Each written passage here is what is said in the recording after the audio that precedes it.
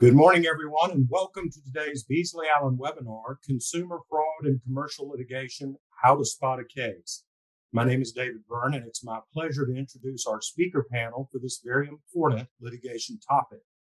Today, my partners Dee Miles, Rebecca Gilliland, Clay Barnett, Leon Hampton, and Lance Gould will provide us a guide to identifying and vetting potential fraud and consumer litigation cases.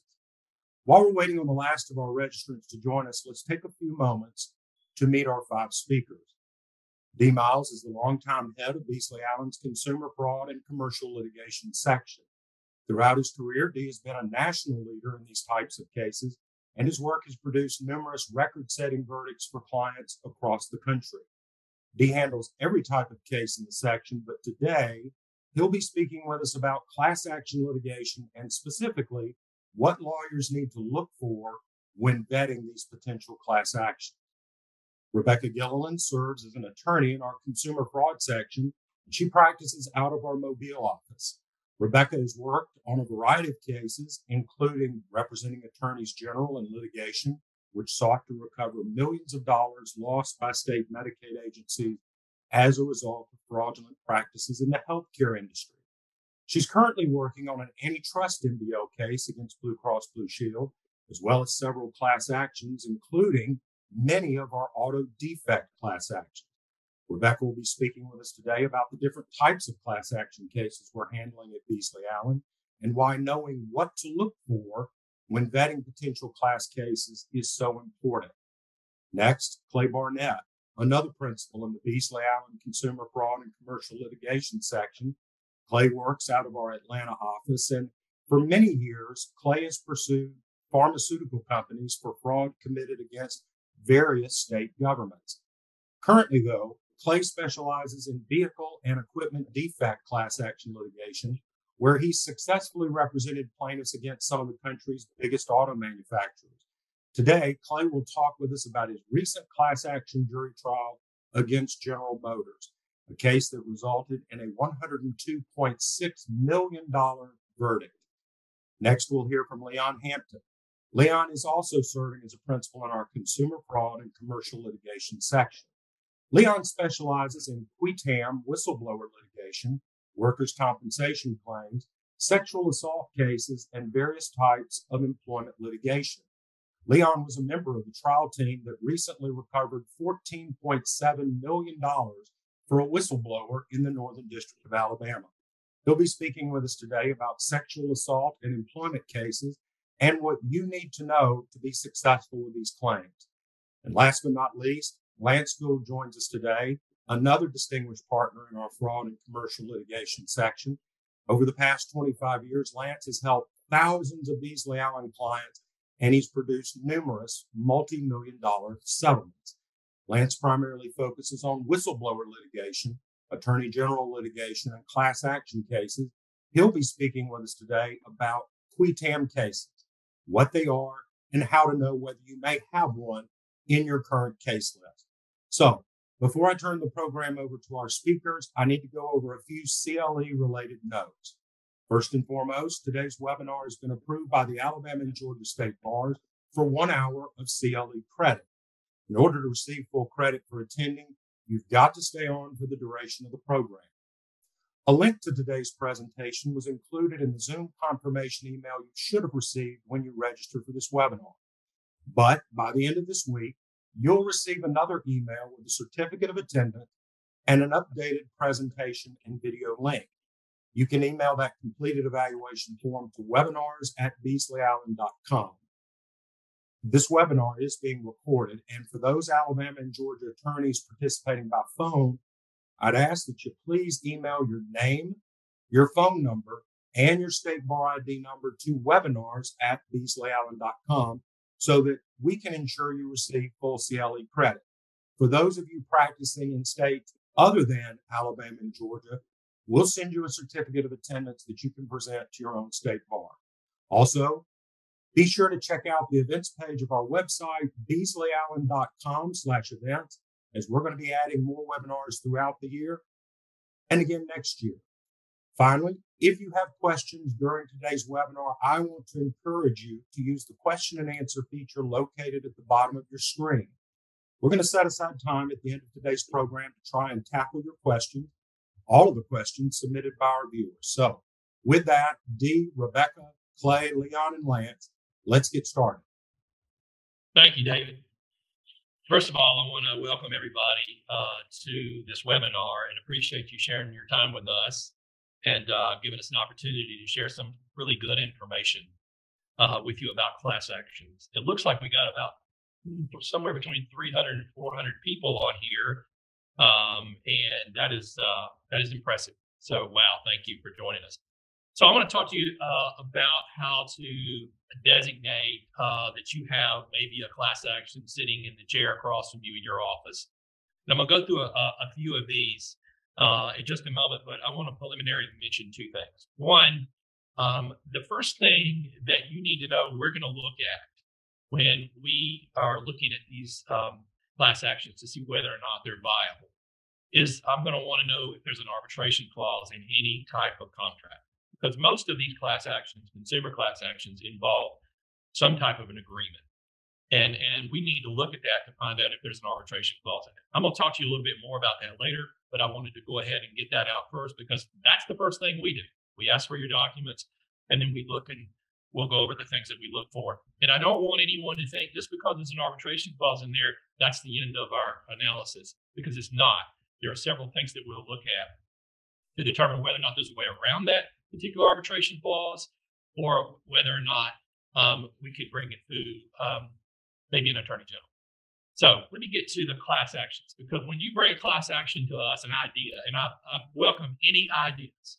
Uh, there is no dumb idea when you're looking at classes. Um, and and once we get over the arbitration part of it, and we we determine that well maybe there's not an arbitration problem, then we're going to look at these things that you see on the list. Now these are things you also in law school, uh, but I want to give you the practical part of it. What are we looking at? We look for these things. The first thing you want to look at is you want to see whether or not the conduct that the person in your office is complaining about is pretty uniform. Like, for example, and, uh, Clay is going to talk about this a little more, and even Rebecca. But in the case we just got a verdict on, that was a case involving a car uh, known as an LC9. It was a 5.3 liter engine of General Motors. Everybody who owned one of those had this same problem. It was a, a problem with the rings not being proper in the engine, and it caused oil consumption, excessive oil consumption. That's a case where everybody has the same problem. And that's the kind of thing that we're looking for uh, initially is, is the conduct the same? Is the harm basically the same to everybody? So we want to look at that. That's typical and that's common. Uh, there's a slight difference between the two, but, for our purposes of, of, talking about how to spot, that's basically what we're looking for. It's just some uniform type of conduct.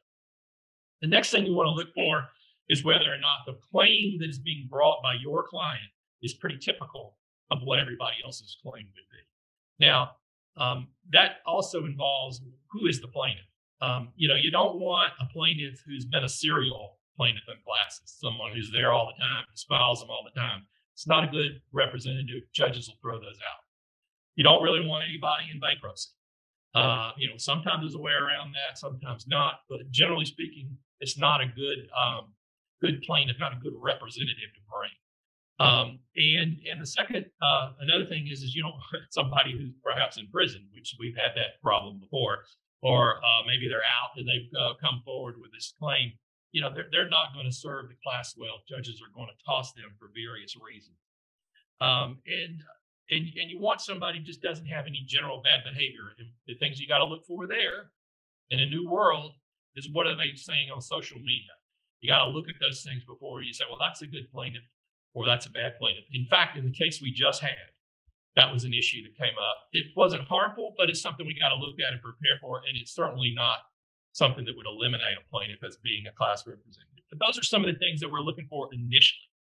Um, now, you want to look at damages because the damages, sometimes people think, oh, well, the damages are different for everybody. So if they're different for everybody, well, maybe, you know, that's not a class.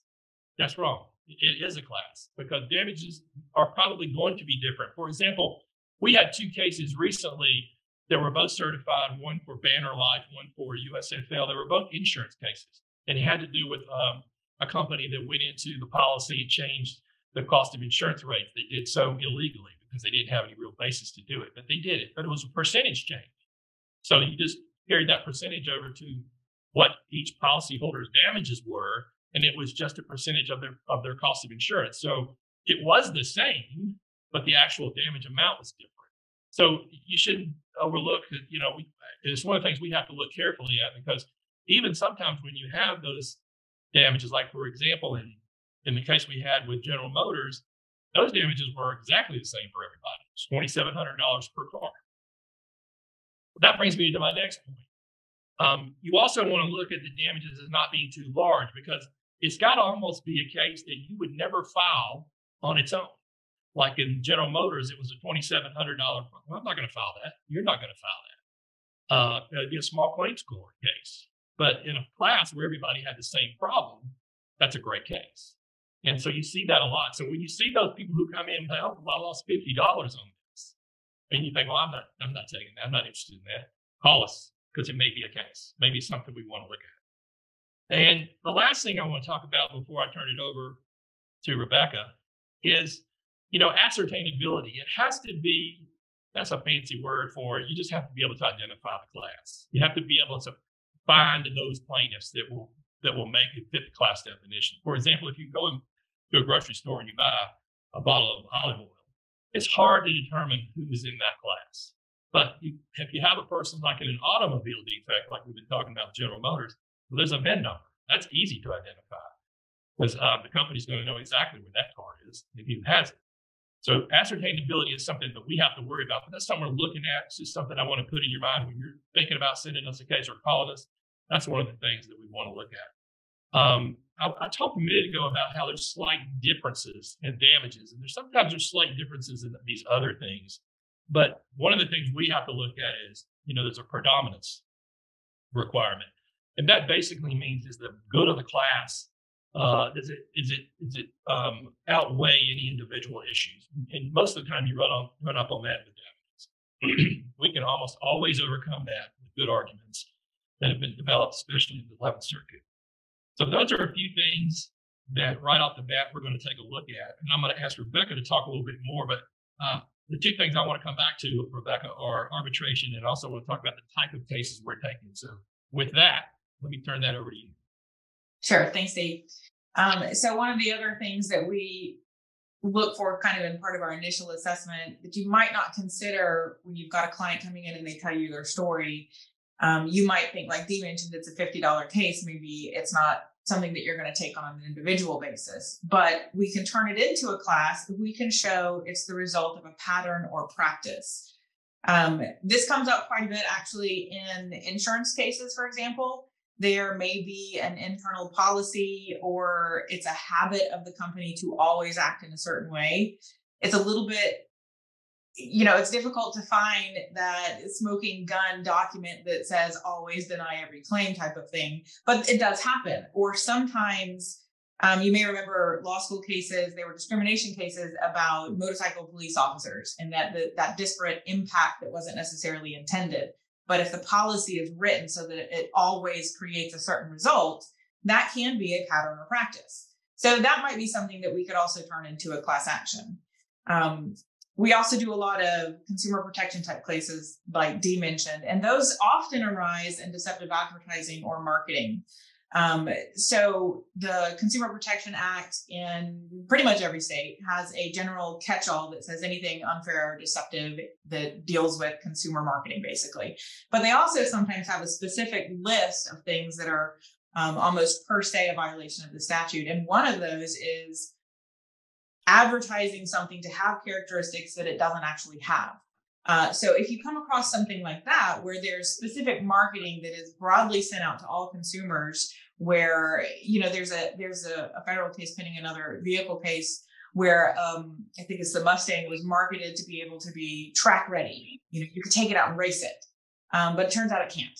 So that actually might also fall under a deceptive advertising or marketing claim because that marketing material is telling consumers this vehicle has certain characteristics, but it turns out it doesn't actually. Um, so the next bullet point on here is broad impact, and that kind of goes back to some of the things that Dee was saying, and it's one of those first four concerns that are on one of the earlier slides, and that goes towards numerosity.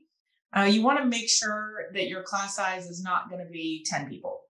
Um, that's not going to get certified. That's the type of case that you would bring as a multi plaintiff complaint instead of a class. So the numerosity requirement and having a broad impact kind of go hand in hand. We want to make sure that we've got enough class members that not only does it financially make sense to bring it as a class, but it also is going to that's one of the requirements under the rules. You have to show that it is basically um, more efficient for all parties. Um, it's easier to manage the case if to bring it as a group instead of as a bunch of individual claims. So when we're we're looking for broad impact, um, that's one of the reasons why I personally like the deceptive advertising and marketing claims because you don't typically have a targeted marketing that's only going to 10 people. You know, you think of a, a radio ad or a commercial or a flyer, even in print. Um, those aren't narrowly produced. They are sent out very broadly. So that's the type of thing that we're looking for. Is you want it to be more than just five, 10 people. Uh, there's not actually a set number that's required. Uh, one of our preferences is to be in the 100 range, but if you've got high enough damages and it's a slightly smaller class, it still might work. Um, so there, there's no real set number that you absolutely have to meet. It's just 100 is a good number. Anything bigger than that, it might be possible. Um, so the next thing I want to talk about is classified damages, and Dee kind of covered this a good bit on the earlier slide. And so there's a difference between like Dee described, there's a difference between your individual damages being different, but they have to be similar. So what we're looking at, uh, if you take it back to a deceptive marketing, um, sometimes the damages on that are a little bit difficult to identify, but JUUL is kind of a good example. Let's talk about marketing to children. The damages from that, we're not talking about the personal injury side of the damages. We're talking about the fact that a, a minor purchased something that they shouldn't have had access to. So your damages in that case might be the, the cost, the actual literal cost that was paid for something they shouldn't have had. Or maybe something was touted to have a certain characteristic and it doesn't, but you paid more expecting it to have those characteristics. So these damages questions are generally expert driven, um, especially in a situation like that where we're talking about the overpayment, the extra money that you paid because you expected it to have a certain quality that it doesn't have.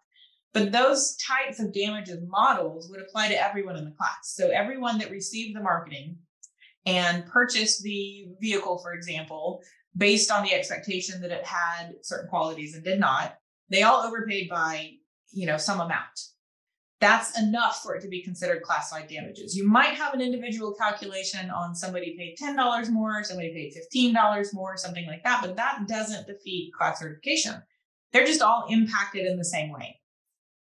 One of the other things you want to look for is what type of relief your clients are looking for. Um, injunctive cases exist uh, in the class action world. Damages cases are a little bit easier, to be honest. Um, if you have a damages model that applies class wide, you know, everybody overpaid by a certain percent, or everybody purchased something expecting it to have characteristics it didn't. Um, that's that's money damages. That's a little bit easier to certify. Injunctive relief is a little bit more difficult because part of what you're looking for in those types of claims and an equitable claim is uh, for the defendant to stop doing something. Now, you can still get that. And a lot of times we have that interwoven in some of the cases that we bring. So you might ask for the deceptive marketing, for example, um, to stop advertising it as having those certain characteristics that it doesn't. So you're asking for injunctive relief, but you're also asking for money damages because you overpaid for a product. So a lot of times they go hand in hand, um, and we like the ones where it's dual. We like it when it's got both. Um, we do bring injunctive relief classes, but they are a little bit more difficult to get certified. Generally, money damage is just kind of an easier concept for everyone, even judges, to get behind. So we look for those, um, but don't rule it out if it's an injunctive relief case. Uh, still, we'd love to take a look at it. So the next thing that we're going to talk about, and Dee and I are going to kind of share this one a little bit, is different types of class actions that we handle. Um, and that's not to say that this is going to be an exclusive list. If you think you have a class theory, like Dee said, we like to take a look at anything. Um, I always joke with the the people in our section that I'm I'm kind of the nerd. So if you have a strange question and you, you just think you have a strange idea, I would love to hear about it. Um, but right now, what we're really focusing on, we have a very large automobile defect section, and Clay is going to talk about that in a minute because that's become sort of its own little niche area within our class action litigation. Uh, we also do a good bit of insurance litigation, and Dee mentioned some life insurance cases a little bit ago, and I think he's going to talk a little bit more about those in a minute. But there's for when it comes to insurance cases, you just need to be aware that there's two different types. There's ERISA and non-ERISA. So ERISA is basically um, an insurance policy that's provided from an employer, but it can also be a retirement benefit that's provided from an employer. You've probably all seen articles about overpaying for management or um, not offering the appropriate um, investment opportunities. So those would be um, those are also types of litigations that we look at. And then we have a securities, which is sometimes thought of as being a subset of retirement, but it's not necessarily. So securities classes can be brought by uh, against a, a business. You know, they make um, false statements in their filings to the SEC, for example. That could be a potential securities case. Or if it can also we had a securities ERISA case, so they were sort of both lumped in together, where it was dealing with an ERISA investment in securities, but in the securities of that business. So there's a lot of overlap between securities and the insurance litigation world. Um, and then I already talked about consumer protection a little bit. Um, Dee mentioned that we do some attorney general representation as well as doing class actions. So when you're looking at a consumer protection case, we often kind of assess it as both and then we'll meet together and try and figure out which one do we think is going to get us get the most relief for the consumers is it going to be through an attorney general representation or is it best brought as a class action so there's a lot of factors that go into um, kind of fleshing that out to see how we want to handle it um, Dee, I think you also wanted to mention a couple of the other types of class actions that we look at. Oh, your volume isn't working right now, Dee. Okay, we'll move on. so I know that he wanted to mention some of the insurance specifically. Um, we have had a couple of class actions that have been successful. They've been settled. Some of them are still in process dealing with cost of insurance. Um, those cases, you know, when you're when a carrier is setting the cost of your premiums, it's often based on um, what they call the cost of insurance. So they might have an increase over time, and but there's only certain factors that they're actually allowed to make those changes on, and oftentimes they're contained within the policy language itself. So um, we do look at those types of cases as well. Um, and then, of course, Clay is going to talk in a minute about some of the auto defect cases in a lot more detail. So, one of the other things, this is why we wanted to give this information. Um, this is why it matters when you've got an initial intake coming in and you're trying to decide is this an individual case that I want to take? Is this a class that I might want to refer? Um, so we talked about the different types of damages, the, the injunctive or the monetary relief. So you need to be able to identify that. Um, you have to know what relief they're after. Um, and then Dee mentioned arbitration clauses. So arbitration clauses, you know, they're not the end all of a case. Um, we do have actually cases at arbitration right now. We have one that we recently filed where we're representing a physician group, and it relates to their the billing practices of a third party that they hired. Um, but one of the things that we do look for very strongly in arbitration clauses is going to be that class waiver.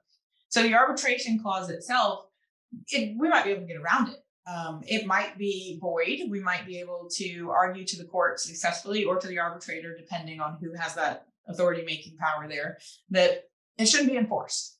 Or maybe there are non parties to the contract, like in our vehicle cases that, that Clay can talk about it a little bit. A, a lot of times there's arbitration provisions when you go purchase a new vehicle, but they might only be between the dealership and the purchaser. So there's sometimes ways to get around that. And then the other thing we need to look for, and is the, the type of cause of action we're going to bring. Is this a breach of contract? Is it a breach of warranty? Is it a consumer protection case? case? And one of the reasons that that is so important is we want to make sure that we're choosing causes of action and that we can bring causes of action that don't are not going to defeat class certification. And reliance is specifically on here because that's one of the big issues when we're looking at class certification. That might make it um, not to be a common question of law or fact. Did each individual rely upon representations that were made to them? So we always want to pay attention to those when we're looking at the causes of action that we might bring. Um, so now I want to introduce Clay. Um, David already introduced him to you, and he's going to talk very specifically about the GM jury trial that we just had out in San Francisco. But he's also going to talk a little bit more broadly about how we look at vehicle cases to begin with. So, Clay. Thank you, Rebecca. Um, hello, everybody. I'll, I'll, talk to you about a trial that we just um, put on and won in San Francisco. Uh, we started on September 19th and finished on the 4th. Um, this actually was my very first automotive defect theory that came to me back in 2016. Um, as uh, David mentioned, I was a I prosecuted um, pricing fraud for years uh, before shifting into really is what my specialty is, and that's um, mechanical defects or product defects that we do on a class level. So these are economic based, they're not injury based, but if someone has a vehicle, a, a tractor or a boat or a consumer item that uh, is failing for some reason and not failing in a in an insignificant way, but in a material way that affects its operation, makes it unusable, makes it dangerous, makes it um, essentially unfit. It's unfit for its design. That's where we can file a class. Now, how did that happen in this one that got us a jury uh, verdict? It involved an engine.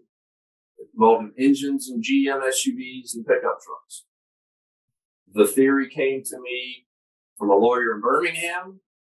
He said, look, these, these Tahoes and, and Silverados are, are tearing themselves up very early uh, in their lifespan. Of course, I think everybody understands that nowadays these vehicles will run well past 150, 200,000 miles without needing major overhaul uh, work. And by that, I mean an engine replacement or a big time engine repair. Um, and these particular engines weren't making it past 75,000. They happened to be warranted for out to 100,000 miles in five years. And that is what um, kind of kicked off the kicked off the class, which is GM believed those engines ought to go out to at least 100,000 miles or five years because it, it warranted them for such length. Yet the product wasn't doing that. It wasn't even living up to its own warranty. So that right there is a prima facie, or that is a great way of, of identifying a product defect from a class action economic law standpoint. So why don't we just talk about the trial itself and I'll narrow it down to our trial strategy versus GM's trial strategy and how ours uh, won the day. Judge Chen out in the Northern District of California is a highly respected district judge out there. And he has an enormous caseload but he managed to squeeze us in. Um, he's so he's so busy that he cuts off his trial days at 1.30 in the afternoon in order to hear motion, to hold a motion docket after that. He also cut, uh, doesn't um, allow trial to go forward on Thursdays because those are motion docket days uh, dedicated. So, with that in mind, he gave each side um, 15 hours to present its testimony and argument. Gave us eight trial days. We used seven of those. Well, that fit into our trial strategy well because we knew that we could lose the jury if we, if we got details. Instead, we needed to show our best evidence and not our not just the good evidence. In fact, it's all all of us have the challenge of picking and choosing among among these documents. So, golly, this is this email has a has a terrific discussion about the defect. The, the, the engineers are discussing what to do about it. Yet it doesn't really inform a jury on, on, a, on a high level. It's just too detailed. So one of my recommendations, uh, because it worked here, is when you've got a document that's just good, put it in one stack and then have another stack for the great documents because the great documents are the ones that you can look at, immediately understand what it's discussing, and what value it brings and what element it brings. So Judge Chen helped us uh, with his with his very restricted time uh, clock for for trial. In fact, he actually kept a running game clock down to the minute. Um, and so, how did we work within that framework? What we did was we put on our, our liability expert as almost a neutral. He was not, uh, he was anything but a hired hitman. He came across as an instructor, as a professor, as a, as a, as a learned intermediary on the subject matter of combustion engines. It didn't hurt that he was the Air Force's chief scientist. It didn't hurt that he's been a mechanical engineer for uh, 40 years, that he's taught thousands of engineering students. All of those things, all of those traits made him more uh, credible. But I think what made the, what really sealed him up in terms of, being the, the, the witness that we wanted him to be is that he did not focus fire on GM, but instead put his put his focus on teaching the jury about how an engine operates, and then what happens if it's missing certain components or, or, or conditions. And if it is, if certain conditions are not present, by conditions, I mean things like adequate oil supply, what happens to the engine and what parts will then fail? Well, when he laid out that high level discussion about engine operation, things that, uh, elements that an engine must have to operate in a healthy and reliable manner. And then what happens when, when an engine is starved of those elements? Well, that happened to line up with our theory. And so at the end of my directive, uh, Dr. Dahm, I just asked him, let's just talk about things when, when we start, when some of these elements start to drop out. Can you tell the jury what, what the result would be? He gave those results to the jury. They happened to be the story that, uh, of these GM engines. Now, that was my, our approach. Put him on as almost a neutral, but mainly as a tutor. What did GM come along and do? They just read from the expert cross examination playbook and they attacked. About the first thing out of their mouth was, You get paid a lot of money to come in here, don't you? And I looked over at the jury and the jury was like, That was not, that was, that was a, that was too aggressive from what they were not ready for it. Um, they didn't like it. It just seemed like she had brought, you know, a gun to a fist fight, the, the GM lawyer. So that was the tone that was set right out of the gate. GM came across far too aggressively on a witness who was in no way a paid advocate, even though that's what he was. He was a paid advocate. He just didn't come across that way by design. We put on GM's engineers in adverse directs. Now, what that did was that just created a gigantic impeachment show because we had their emails, we had their internal discussions, we had their discussions with their suppliers, all manner of of, of the frenzied activity that they uh, conducted to try to get around the defect and try to cure the defect without actually curing it. Well, there were, as you can imagine, there were a great deal of admissions in there. There were a great deal of high level statements made in those emails that a jury could have read on its own and said, I know what that engineer is talking about, and that's an admission. Well, guess what they, those engineers did when they were came in on the stand? They, they tried to walk back their own statements. Well, they these engineers had had had affirmed those statements in deposition, so we had that ready for uh, for impeachment. Then at trial, they they go back and say, "Well, don't don't believe what you're reading on the paper. Don't believe what I said in deposition in 2019. Believe what I have to say about it now." After my lawyers have flown me all the way from Detroit to San Francisco, sit in this chair and try to muddy the water. Now, I think the thing that we did and Rebecca for sure falls into this category very well is, is that we conducted surgical and professional impeachment. We did not use a, scorched earth approach with those witnesses, but instead we were polite. We were, um, we, we, we kept our composure. We did not jump on the witness when some lawyers just can't can't stop themselves from doing that. You have to let the witness hang himself. Don't come after him with the aggression that makes you potentially the bad guy. So we were determined not to do that, and we succeeded. Um, we found that our video evidence, our video deposition evidence was moderately effective. Um, I think we all need to be careful about how much we depend on video testimony. I can tell you that we became, we were given a great gift by GM and the judge pre-trial, and that is we went in with a video prepared uh, case in chief because the witnesses were outside of subpoena power. GM said, "Oh no, no, no! We're bringing these guys that you deposed back in 2019 and who you have up against the wall in your in your uh, in your video deposition." And we and we said, "No, we would rather take advantage of the fact that we have this deposition. It's a bird in the hand.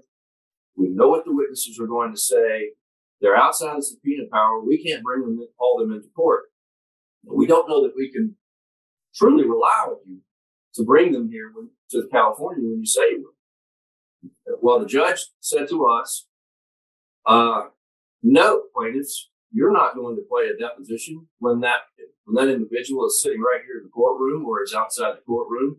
No, what you'll do is you'll call that witness live. You'll be, be a lawyer, do what you're paid to do, and uh, take your chances there, which we did. That turned out to be a tremendous benefit to us because we got to see how our adverse direct looked compared to our video. Our video at the time we thought was excellent, but you just looking back on it, you could tell the impact was made through the adverse directs. Of course, the adverse direct set us up for GM's strongest weapon, which was they put on their case in chief and our case in chief. Anytime we had a GM engineer the, on the box, GM came along and ran a full direct examination of that witness right after we had conducted adverse direct. All right, this is where the trial strategies differ. Whereas I think ours, again, was the smarter and more effective strategy. We were lean, we were direct, we used the best evidence we had. GM's lawyers, excellent lawyers, very, very deep talent pool on that team. They could not resist the urge to go too long. They just went too long with their witnesses. And as a result, the damage they did got washed away with some of the, with the bland testimony. They were trying to tell a story for each witness, only they couldn't tell it in a short enough period in the most concise enough way that the jury not miss some of their big points. The, uh, that brings me to Rebecca. Rebecca had uh, did a terrific job with one of their warranty guys, which was essentially the GM defense, which is this is a this is annoyance. This is not a defect. We, we issue warranties for a reason because we know there will be parts that fail, and therefore we warranty them. We warranty them. Well, that guy got on the stand after after uh, Rebecca adverse directed him and blew us to bits with a with a fabricated failure rate number. It's a number that we've never seen before. It's a number that made our case, our theory, appear to be complete junk. I mean, if you believe GM's number, there's no way you can believe the plaintiff's number. Um, so, fortunately for us, that witness uh, ended the day still on direct from GM. Rebecca was able to prepare an adverse redirect for him. And we worked on that thing for hours and hours that afternoon and that night. She came in there, undid the damage. That was our, I would say that for sure was, was the most treacherous part of the trial. It was where GM could have uh, zeroed us out and Rebecca actually defused the bomb and got us back on track. Now, the takeaways that I found that's, that are worth sharing in this group is are teach your jury about the actual product that's at that is at issue. Understand the product that is that's at issue. Bring an example of that product that's at issue and put it in as a piece of evidence. We did that. We used a piston and rings with almost every single jur- uh, witness that was on the stand after we introduced it. And then the jury knew when they went to the jury room, they actually knew the component that was failing because they could hold it in their hand. Um, the, the GM engineers weren't ready for that because it hadn't been done in deposition. They knew that they were holding the, the defective product in their hand and there wasn't much they could do about it. It's, it's tough. It's like the defendant being on going on the stand in a criminal case, and you put the gun in his hand. So use actual evidence. The the final point I'll say is what we did was we focus grouped this theory. We focus grouped it with about a dozen different focus groups. Again, this case was tried in San Francisco, so that jurisdiction was comprised of a ton of educated people. We found that we needed an educated jury to make sure they don't fall for GM's shenanigans and misdirection. As a result, we had an accountant, we had two, we had a small business owner, we had two software engineers. I mean, typically, we don't want an engineer on a product defect. But those got one of those product, one of those engineers wound up being our foreman, our foreman. So do your due diligence on who it is you need in the jury box before you try one of these cases. And the focus group definitely did the work for us there. Um, I'm glad, I'm happy to answer questions at the end. I'm, I'm going to wrap up here and hand it off to Leon. Thank you. Good morning. I'm happy to be with you all on this webinar this morning. Um, in addition to being a part of the qui tam litigation team here in the fraud section, I also prosecute sexual assault cases in state court as well as employment discrimination cases under Title VII of the Civil Rights Act of 1964 in federal court. And so this morning, I want to talk to you about how to spot a good sexual assault case. And then later, we'll talk about how to spot an employment discrimination um, case under the Civil Rights Act of 1964. So over 41% of women in the U.S. have experienced some um, form of sexual violence, whether that's sexual assault or rape. And surprisingly enough, or maybe it's not as surprising, is that a lot of these sexual assaults um, does not do not get reported. Um, just the nature of the crime um, and the offense, many of the victims um, don't feel safe coming forward and actually voicing uh, what happened to them. Most of the time, when we think about sexual assault cases, we think in the criminal context because, um, of course, it is a crime to um, uh, sexually assault someone, of course, or rape them. But in addition to the criminal uh, claim that a victim may have against um, the perpetrator, they also have a civil claim against that perpetrator. And the great thing about those claims is that they can be filed in state court under a simple um, civil assault or battery uh, claim.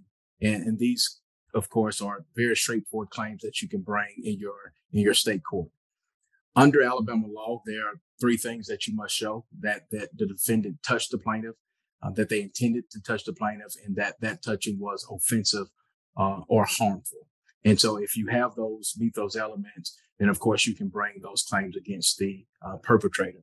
These are very sensitive cases, and the victims often are fragile. And so, in the initial intake, it's very important that you gain a rapport um, with that victim um, and that may look like going to their house, going to their um, office or calling them into the office and sitting them down and just allowing them to talk and tell their story without um, butting in or trying to get some of the probing questions that you need out in that initial meeting. Um, generally, you allow them to talk, get the story out, and write down your more probing questions and call them in for a second meeting and then go into those more sensitive areas but in order to um, to start getting grooming a good plaintiff in, in the sense of uh, getting them ready to tell their story in front of a jury, you, you want them to get all of the emotions out and just let them tell their story without um, jumping in in there in that initial meeting. So let's let's go to the next slide. 38% of women and 14% of men um, have reported experiencing some form of sexual violence in the workplace context. And so I want to talk to you briefly about how do you hold an employer liable for the sexual assault committed by the employee. All right. So this happened in the context where you have an employee who was assaulted by a coworker. Right. Of course, you have a civil claim of assault and battery against the coworker, but you may also have a better claim or a, a uh, more lucrative claim against the employer if you can show that the employer were was either negligent or wanton in their hiring, training, or supervision of the perpetrator. um, if you can sh- have evidence of that, then you can bring a negligent wanton hiring training in our supervision claim against the employer. Or if the um, employer actually ratified the actions of the perpetrator after the fact. So this is a very fact driven analysis. And what you want to know is what did the employer know? When did they know it? And what did they do after they knew it? Right. And so you want to get those questions to your victim. Did you tell anyone uh, what happened? Right. When did you tell them? And what happened after you told the, the employer? If you find that the employer knew about the sexual assault, the offensive touching, or if they knew about uh, comments that had been made to the victim before the actual um, sexual assault or rape happened, then you can possibly bring a claim for um, negligent wanton hiring, training, or supervision against that employee. Next slide, please. So under Alabama law, an employee can be held liable for the sexual violence of his employee if the employer ratifies the employee's unlawful acts. Um, an employer ratifies an act when one, it expressly adopts the employee's behavior or it implicitly approves the behavior. So after the victim um, notified the employer of the the action, the wrongful conduct, you want to look at what did the employer do? Did they do an investigation? Did they um, do interviews? Did they go back and look at cameras? What was the conclusion of, of that investigation? Did they hold the perpetrator responsible by terminating that person, moving them to another facility? Uh, what did they do after they had knowledge? If the answer is nothing, uh, then you have a very good claim against the employer for ratifying the uh, actions of the underlying tortfeasor. An employer's failure to stop the tortious conduct after it learns of the conduct will support an inference that the employer tolerated the conduct. I, I have here the Weinstein Company and USA Gymnastics. In both of those cases, uh, the company was well aware of the tortfeasor's actions. And instead of holding them responsible, they continued to allow those individuals to operate in their capacity. And in doing so, they were allowed to continue to perpetrate these crimes against their victims. Next slide. So let's move to um, how to spot an employment discrimination claim. Of course, Title VII of the Civil Rights Act of 1964 prohibits employers from discriminating against an employee or prospective employee on the basis of race, color, national origin, sex, or religion. These are called protected classes.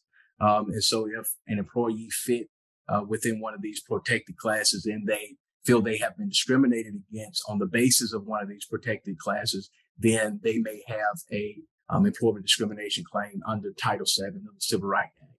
So the first step in uh, prosecuting an employment discrimination claim is filing a complaint with the Equal Employment Opportunity Commission or the EEOC. Um, in order to get your claim into federal court, you must first file this complaint with the EEOC. If you do not file the complaint with the EEOC and go straight to federal court, that case will be dismissed for your failure to exhaust your administrative remedies. Um, and you must file this complaint with the EEOC within 180 days from the last discriminatory act or adverse employment action um, from your employer. So let's say you were terminated and you feel the basis of your termination was on the basis of your religion or your race or your uh, gender, then you have 180 days from that last um, adverse employment action to file a complaint with the EEOC. If you fail to do that, then you lose any right to bring a case into the federal courts. If your state has a discrimination statute that is similar with similar remedies as Title VII, that uh, 180 days period is extended to 300 days um, from the last discriminatory act. Um, this is very important. This 180 days bar and this 300 uh, day bar is very important because the last thing you want is for an um, a, a potential client to bring a case into your office and you sit on it for a while and then ultimately decide not to file the case. But while you were investigating the case, those 180 days or 300 days were running and, you know, you decide to turn the case down at day 100, you know, or day 120. and now the the plaintiff have less time to actually get their case uh, before the EEOC, and they could possibly lose their claim altogether. And so you want to make sure that you're investigating these cases as swiftly as possible. As soon as there is an employment discrimination case that come in, you want to take a look at it, make a decision uh, fairly quickly as to whether or not you will um, investigate further or represent that plaintiff with the EEOC, and then ultimately before the federal court. So once that complaint is filed with the EEOC, the EEOC typically will investigate the claim and they will make a determination as to whether or not they have found some basis of discrimination. Um, if they find basis of discrimination, they will uh, reach out to the employer and offer that the employer and the employee uh, go through a mediation process. If the employer decide they don't want to mediate the the case, then EEOC will issue a right to sue letter to the plaintiff, and they can bring their case into federal court. They have 90 days from the date of receipt of that right to sue letter to actually bring the case into federal court. The alternative is, is that the EEOC can determine that they find no basis of discrimination um, based on a protected class. In that scenario, they will still issue you a right to sue letter and you still have those 90 days to file a lawsuit in federal court. Um, if you don't file within those 90 days, that's your statute of limitation and it's forever barred from being able to file. So again, it's very important to make sure that once you get that right to sue letter, make a determination whether or not you'll file it. If not, that claim uh, statute is running uh, fairly quickly. Next slide. So, what do you look for when vetting discrimination claims? The first thing you want to look for is adverse employment actions, um, terminations, demotions, loss of pay, loss of responsibility. Um, it's not enough that the plaintiff feel or the potential client feel that they've been treated wrong, but there's been no adverse employment action, i.e., they haven't been terminated, they haven't been demoted, um, they haven't lost any pay or responsibility. They just feel like they're not being treated right by by their employer. That may not be the basis of of an employment discrimination um, case. So you really want to get down into the weeds uh, factually of what did the plaintiff experience? Uh, why do they feel they experienced that? The other thing that is important is that you have to find a proper comparator within the um, employment context. This simply means that you have to look at your plaintiff, what protected class they are claiming, i.e., I feel I have adverse employment discrimination uh, because of my race. You have to look at what is the adverse employment action that was taken, and then look at a person that is outside of that plaintiff protected class and see whether or not they were treated differently for uh, the same action. All right. So if you have an employer who terminates an employee for uh, failure to uh, get to work on time. And your plaintiff need to find a, a another employee who's not within their protected class or a different protect a, a different class and be able to show that this other um, employee didn't get to work on time as well, but they never received any adverse employment action. If you can't show a proper comparator, once you get in the federal court, um, the courts, of course, will throw your case out because you're not able to show uh, the disparate treatment based on uh, a protected class. Next slide. So, doing this analysis, uh, this very intense factual analysis, you may determine that the adverse employment action is not based on the plaintiff protected class. Um, in some instances, your plaintiff could be experiencing personality com- conflict. They could be experiencing nepotism. All those things may be wrong, but they're not necessarily actionable. Um, or they may be experiencing a, a situation where they have been going to their superiors complaining of the way the employer handles certain matters. Um, for example, let's say the employer is a defense contractor or they receive federal funds in some type of way. And the employee feel as if the employer is handling those federal funds in a way that's not prohibited by federal law. And they keep going to the employer saying, Hey, we're doing this process wrong. This is not allowed. This is illegal. And ultimately the employer get tired of the complaining and decide to terminate that employee. Well, you may not have a Title VII discrimination claim because it's not really based on a protected class, but you may have a whistleblower claim, which uh, Lance Gould will talk about in a moment. The employer could be terminating that person because they are um, highlighting some um, illegal activity as relates to federal statutes and regulations that could put that company in financial jeopardy with the federal government. And so we've had instances um, here in the fraud section where individual come in, they think they have a great employment discrimination case, they sit down um, and they want to know can they file a claim under um, Title VII of the Civil Rights Act, and we start going through the factual scenario and realize, hey, you don't have an employment discrimination case under Title VII. Um, this is not based on race, color, religion, gender. This is actually based on the fact that you've been complaining about um, illegal uh, activities at the at the company, and then we get them into another um, area, which is qui tam litigation, and that is blowing the whistle because of federal um, irregularities. And so at this time, Lance Gould will talk to us about uh, qui tam cases and what that looked like. Morning, thanks, Leon. And as Leon said, a lot of times the whistleblower qui tam cases come to us through individuals that aren't even aware that they may have a claim. Uh, qui cases are commonly referred to as whistleblower cases. And whistleblowing, its simplest form is a an employee exposing his employer for conducting uh, or defrauding the government.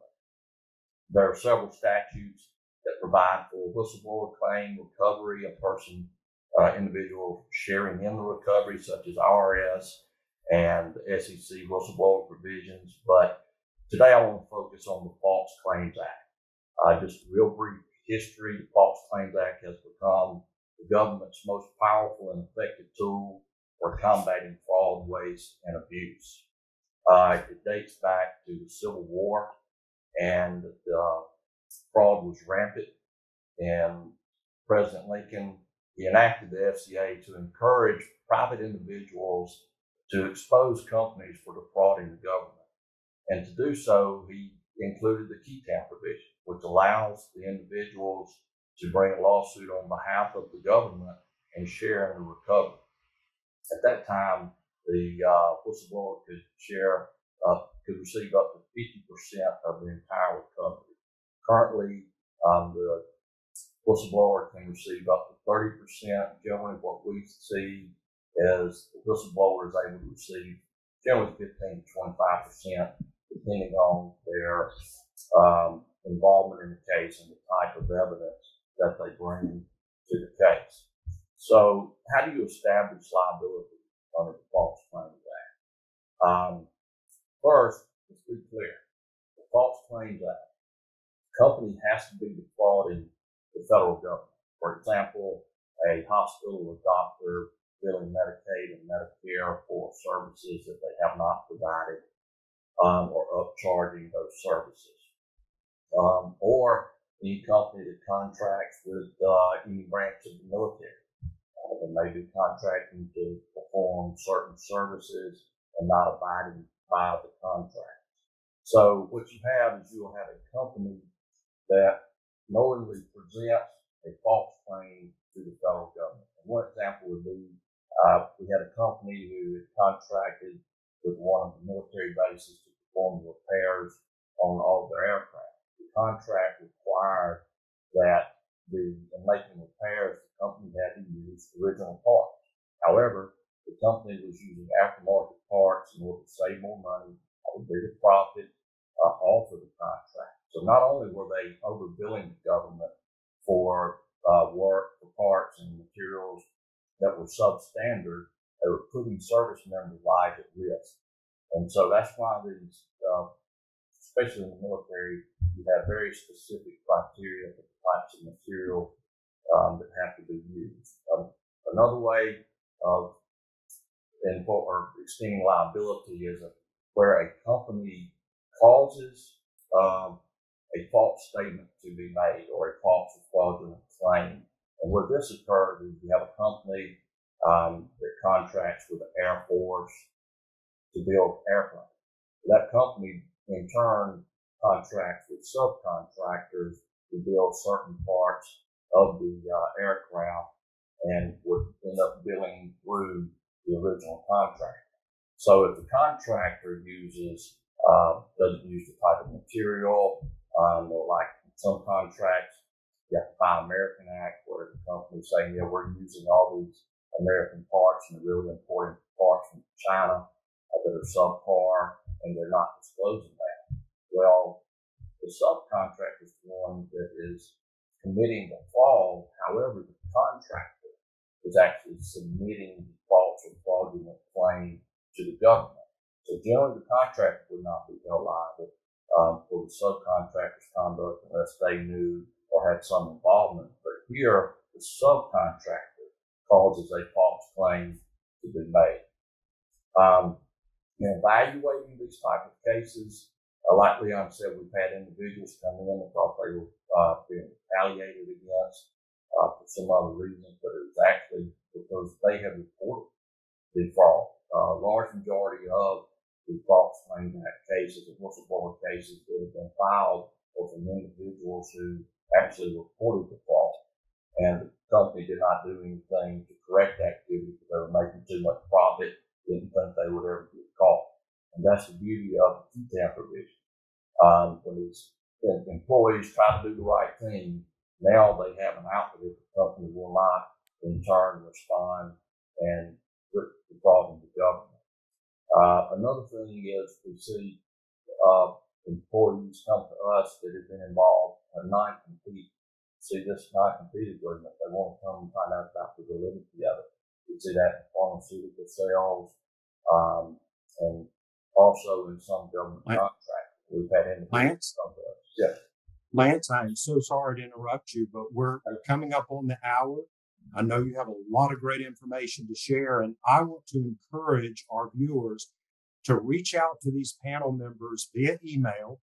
Their emails will appear on the last slide, which is coming up now. I want you to write down those email addresses and send your questions, if you will, to our panel members. They will be more than happy to answer all of your questions. Uh, again, on behalf of all our viewers, I want to thank our speaker panel for this really thoughtful and thorough presentation. Um, please join us next month. Check out our webinars page at beasleyallen.com slash events.